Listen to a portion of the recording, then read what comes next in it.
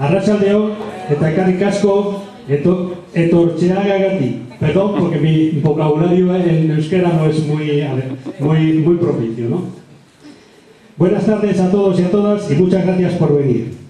Los organizadores de este acto, Galdacao Visiri, Ezquera Nicha, Galdacao Gogora y el Ayuntamiento de Galdacao, queremos daros, queremos daros la bienvenida a este acto que se enmarca dentro del programa de actividades que conjuntamente el grupo Galdacao Gogora y el Ayuntamiento de Galdacao han organizado para honrar y recuperar la memoria histórica de nuestro pueblo. Recuperar la, memoria histórica no puede limitarse exclusivamente, como pretenden algunos, a desenterrar los restos de las cunetas. Tienen que ser mucho más. Supone recuperar para nuestro presente los valores de aquella época. Recuperar la verdad, la historia, las vidas de aquellos miles de hombres y mujeres que dieron lo mejor de sí, de sí mismas por defender la causa republicana, la libertad, la democracia y la paz. En ese sentido, con el acto de hoy queremos honrar la memoria de aquellos intelectuales honestos, comprometidos con la libertad y la justicia, poetas que desde sus escritos y desde su actividad cultural y educativa se pusieron al lado del pueblo que luchaba contra el fascismo, no podemos olvidar que muchos de ellos pagaron esa implicación y ese compromiso con la vida, como es el caso de Lorca, Miguel Hernández, o en el mejor de los casos, con un exilio que para muchos fue definitivo y del que no regresarían. Contamos para realizar este, este homenaje con el Club de los Poetas Rojos que han venido desde Castell y al que queremos agradecer especialmente su participación en este último eh, humilde acto de reconocimiento. Quiero además agradecer y reconocer la importantísima labor que está realizando el grupo Galdaca Gogora en nuestro pueblo, grupo al que nos sentimos orgullosos de pertenecer y al que animamos a que siga haciéndolo también como hasta ahora. Por último, queremos agradecer especialmente la colaboración del Ayuntamiento de Galdacao, que ha sido muy importante para que este acto de hoy pueda llevarse a cabo. Ecar Casco, sin más, agradeceros nuevamente a todos que hayáis venido a este acto y queremos que los disfrutéis.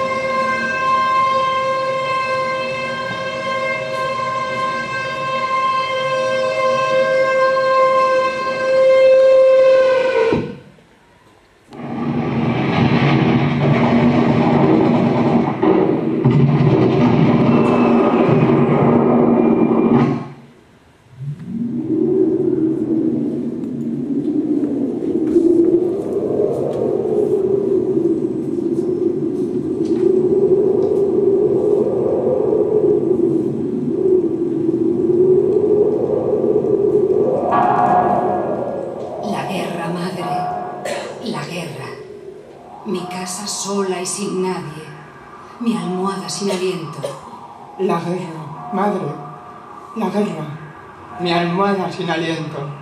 La guerra, madre, la guerra. La vida, madre, la vida. La vida para matarse. Mi corazón sin campaña. La guerra, madre, la guerra. Mi corazón sin compañía. La guerra, madre, la guerra. ¿Quién mueve sus hondos pasos en mi alma y en mi calle?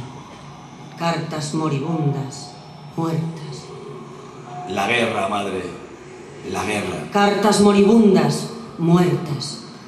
La, guerra, madre, la, guerra.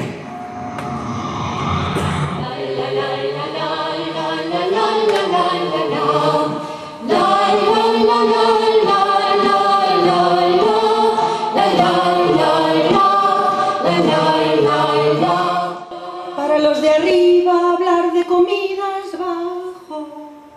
y se comprende, porque ya han comido. El pan de los hambrientos ha sido comido. La carne ya ni se huele. En vano se ha derramado el sudor del pueblo. Los de arriba dicen... La paz y la guerra son de naturaleza distinta, pero su paz y su guerra son como viento y tormenta. La guerra nace de su paz como el hijo de la madre.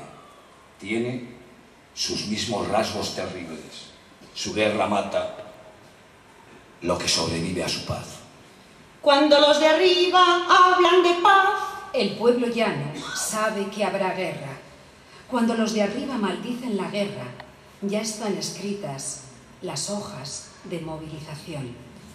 Es de noche, las parejas van a la cama. Las mujeres jóvenes parirán huérfanos. Los de arriba dicen, Este es el camino de la gloria. Los de abajo dicen, este es el camino de la tumba. la guerra que vendrá no es la primera. Hubo otras guerras. Al final de la última, hubo vencedores y vencidos. Entre los vencidos, el pueblo llano pasaba hambre. Entre los vencedores, el pueblo llano la pasaba también. General, tu tanque es más fuerte que un coche. Arrasa un bosque y aplasta a cien hombres. Pero tiene un defecto. Necesita un conductor. General, general, el hombre es muy útil. Puede volar y puede matar. Pero tiene un defecto. Puede pensar.